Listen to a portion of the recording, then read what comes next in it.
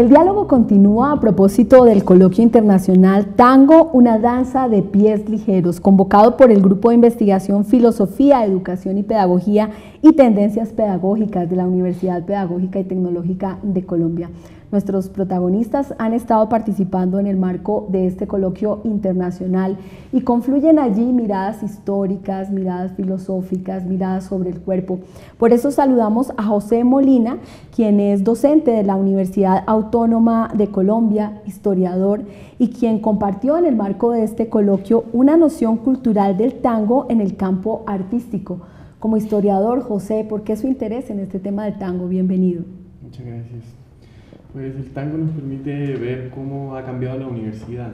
Entonces la conferencia que presenté trató de mostrar que la reforma universitaria durante el siglo XX puede ser medida o puede ser vista en su profundidad según logre incorporar músicas populares o culturas populares. Entonces, desde una reforma que excluye al tango a una situación o experiencia de la universidad con el baile y con el tango hay un cambio que es necesario observar. Tango, em, perdón, José, usted lo traduce en el campo de la universidad, pero, pero menciona el tema del campo artístico. Nuestros niños, nuestras niñas en el colegio están un poco desprovistos de este tema artístico. La noción de arte está en pintar, por ejemplo. ¿Cuál es la importancia que le ve a la conexión con el cuerpo también de este campo artístico? Fundamentalmente el aprendizaje en todos los niveles de la, de la enseñanza siempre tiene un énfasis en lo racional, pero la experiencia de, educarse y la experiencia de aprender es, integral. Entonces la reflexión sobre la danza y la reflexión sobre el aprendizaje se unen en lo que acaba de plantear, que es la importancia del cuerpo. La educación artística, por el hecho de llamarse artística, no significa, no significa que está promoviendo eso. Requiere de reflexión, requiere de miradas interdisciplinarias, requiere de preguntarse cómo se enseña una danza, cualquiera sea, pero en este caso es del tango, y también requiere la reflexión sobre cómo deben aprender aquellos que enseñan. Gracias José y el diálogo con nuestros invitados desde la casa, el grupo de investigación Filosofía, Educación y Pedagogía, la profesora Soledad Montero. Profesora, bienvenida. En el coloquio usted compartía la noción del cuerpo, territorio e improvisación en el tango, que se conecta mucho con este diálogo con José. La posmodernidad, la época que estamos viviendo, eh, ¿qué está haciendo con nuestro cuerpo? Pues eh, Principalmente pienso que eh, frente a algunas teorías filosóficas que plantean, eh, digamos, la incorporeidad eh, como la nueva racionalidad de la cultura, en la medida en que parece que nos conectamos con unos tiempos inmediatos, unos tiempos simultáneos, unos tiempos reales, lo que llaman hoy el tiempo real, que hace que nos visualicemos y nos pensemos a través de la imagen. Eh, en mi concepto es el momento más mm, importante para volver a pensar el cuerpo en tanto un, concepto eminentemente físico. Sí, eh, no podemos olvidar el cuerpo físico en favor de la imagen del cuerpo que se construye a través de la pantalla, diría Paul eh, profesora Soledad, la vivencia que tienen muchos de nuestros jóvenes ahora a través de las pantallas, de las redes sociales, de la inmediatez de la comunicación, pero también de la poca eh, personalidad que tendría tal vez la comunicación a través de esas pantallas, está transformando eh, es, esto que para muchos fue la vivencia del cuerpo, la vivencia de la humanidad del cuerpo?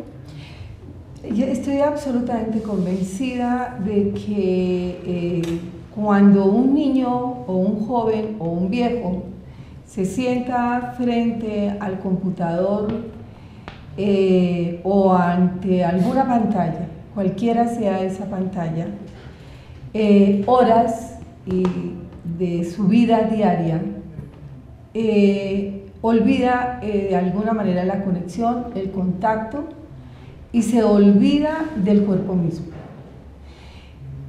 Es que no solamente inclusive se olvida del cuerpo, sino inclusive se olvida del lenguaje, se olvida de hablar y por supuesto se olvida de la existencia del otro. Entonces no solo olvido mi cuerpo, sino olvido el cuerpo del otro y eso se me traduce en esa imagen que me proyecta la pantalla y ahí quedo yo pegado y ese es lo que se me vuelve el mundo. Entonces las nuevas percepciones que necesariamente pasan por formar nuevos pensamientos, seguramente tendrá sus fuertes influencias e incidencias y consecuencias sobre lo que nosotros pensamos del cuerpo. Queremos conectar este diálogo ahora con quienes eh, viven con pasión el tema del tango. Cecilia Lofredo, invitada internacional de este coloquio, quien vino desde el Instituto Superior de Formación Docente de Argentina, y Adel Stroda, quien eh, a pesar de estar radicada en Bogotá, decimos es invitada internacional porque viene desde Francia. Eh, para Adel y para Cecilia, eh, esto que nos está contando la profesora Marta, que nos ha dicho el profesor José, ¿cómo, ¿cómo ustedes se sintieron atraídas por el tango y por esta corporalidad del tango que a veces las pantallas, que a veces este mundo moderno ya no nos permite tener. Bueno, en, principio eh, lo que planteó José, lo que planteó Soledad, tiene que ver con repensar.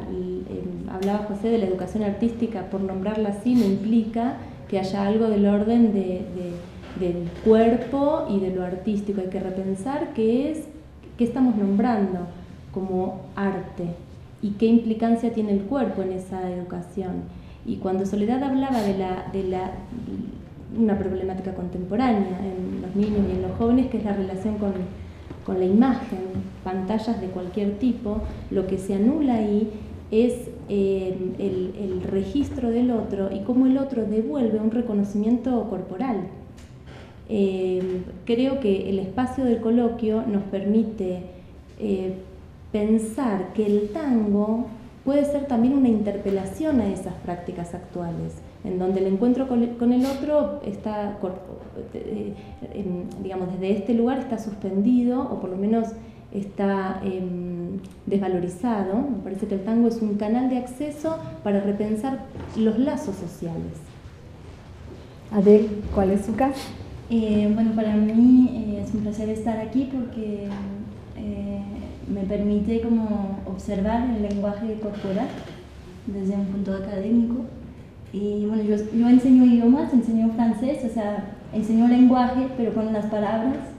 Y, y no, es muy lindo escuchar a, gente que trabaja la enseñanza del cuerpo y, poner palabras sobre lo que uno siente cuando baila tango. Que para mí sigue como una enigma, como tú decías hoy, hablando de la técnica y, una magia también. Entonces, por eso estoy aquí. ¿En Francia se tienen noticias acerca del tango? ¿Lo había escuchado en Francia? Sí, sí, no se baila mucho ahí, pero es muy técnico, valoran mucho la, la, técnica y a veces uno se olvida de lo que siente bailando. Soledad decía improvisación en parte de su conferencia. Uno ve a los bailarines del tango y los ve bailando milimétricamente como de acuerdo, pero, pero es improvisado, es como el jazz.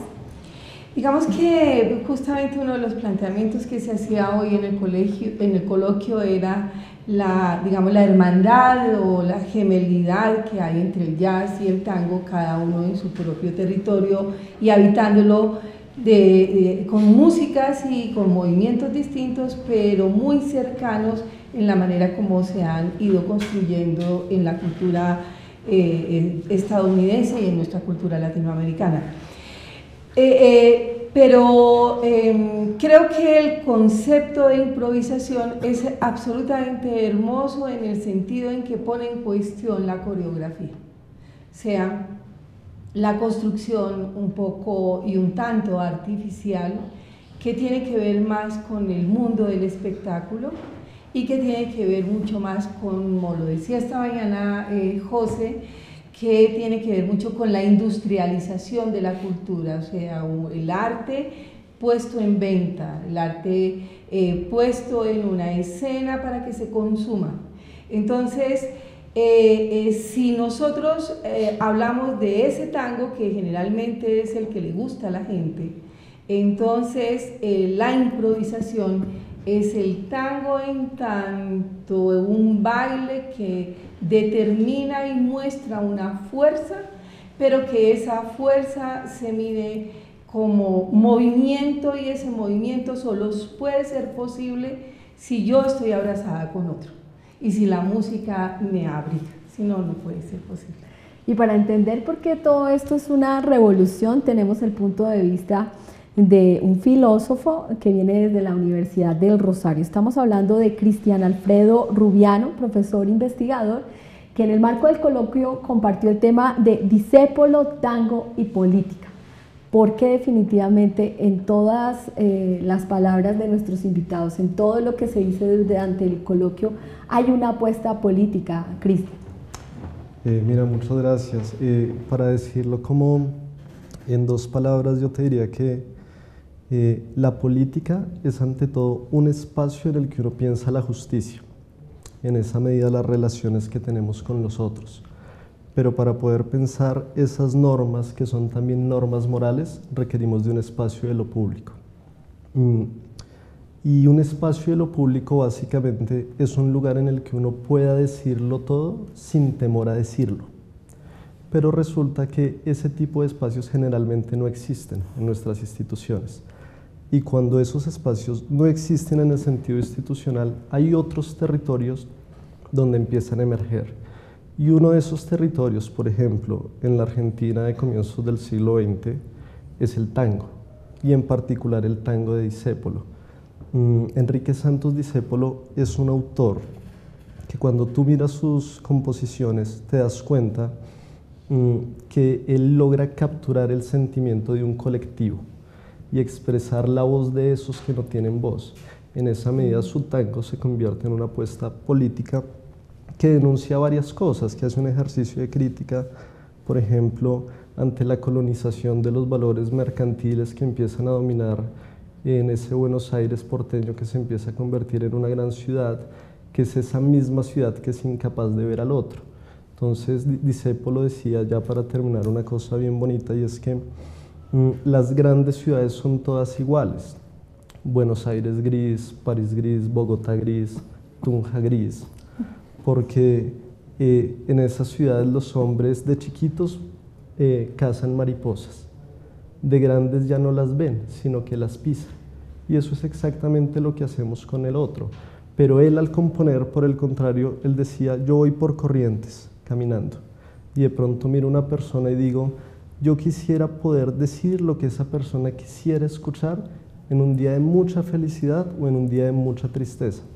Entonces, en un cara a cara, en un ejercicio de empatía, él se logra poner en el lugar del otro y expresar lo que ese otro diría.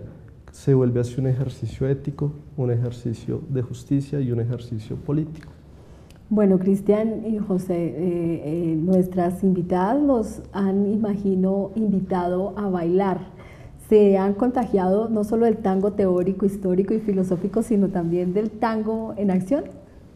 Pues para mí el tango ah, fue una compañía de la infancia muy significativa.